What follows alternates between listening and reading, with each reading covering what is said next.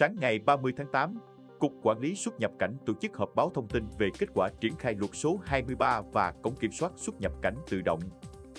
Tại buổi họp báo, Thiếu tướng Phạm Đăng Khoa,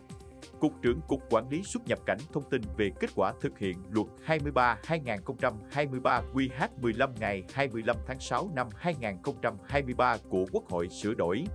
bổ sung một số điều của luật xuất cảnh,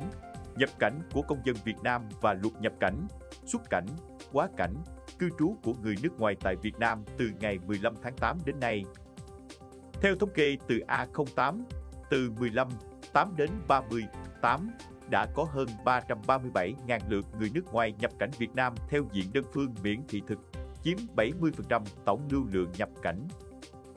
Việc cho phép công dân tất cả các quốc gia, vùng lãnh thổ được xin cấp thị thực điện tử sẽ giúp họ dễ dàng hơn khi quyết định tới Việt Nam,